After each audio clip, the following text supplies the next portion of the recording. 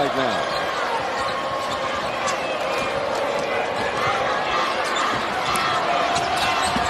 That's Ingram. The one. You got to get it to the playmakers, and that's what they're doing right now. To find a way to get back in it. Here we go, Sam. But you also have to have some other people other than just Stephen Right. Brown to get to the championship. And Jaelin Ingram is stepping up. He has